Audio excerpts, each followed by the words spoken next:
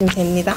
엠비전 선수는 이제 롤드컵도 그렇고 올스타도 아내분이 계속 동해해 주시고 있잖아요. 그럼 이제 감사한 마음을 다섯 글자로 표현해 주신다면 너는 내 사랑 어떤가? 멋있게 닭살 닭살 돋게 전국의 아내분들이 보고 있죠. 와 어렵네. 사랑해 여보. 가장 기대되는 점 올스타 전이나 뭐 전반적으로 미국에서 있는 모든 음식들. 컨셉이네.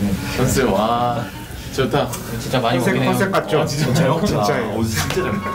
어제 치즈케이크 팩토리를 갔는데 이제 상혁이가 반쯤 먹었고 제가 반쯤 먹었는데 다 먹고 이제 레모네이드를 각자 시켰는데 상혁이가 생각하던 레모네이드 맛이 아니라서 남겼는데 자기가 먹어도 되냐고. 그래서 아우 드시라고.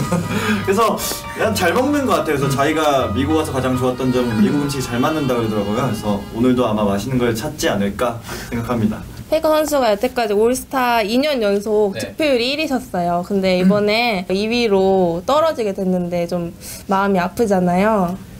음, 다섯 글자. 다섯 글자로는 투표 좀 하자. 아니 두 분이 3년 연속 같이 올스타에 오고 계시잖아요. 3년 동안 많이 친해지셨나요? 올스타 때 친해지기는 하는데 갑자기 돌아가면 이제 다시 적, 적이어서. 적, 팀이 되기 때문에 올스타에서 네, 애정선을 넘을 수가 없고요. 그런 차이인 것 같습니다.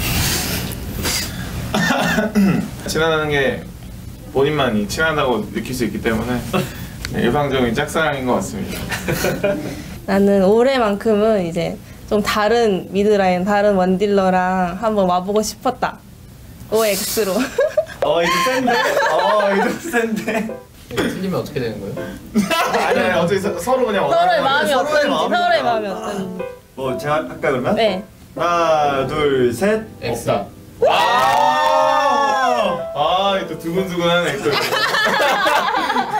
재밌었던 일 없어요? 여기서 뭐 숙, 숙소에서라든지. 어제는 진짜 잠만 자서. 어제 나갔던 사람 이렇게 셋밖에 없어서 제가 네개 져서 밥에 산 정도? 어? 밥 하셨어요? 내기를 하자 했는데 져가지고 제가 100불을 첫날부터 이제 맛있었나요? 네, 맛있게 먹었는데 공짜라서 더 맛있어요. 뭐, 뭐 공짜로도 뭐 워낙 돈 많이 버는 워낙 거의 부담도 안 될 거예요. 아니 줘봐 줘봐 아니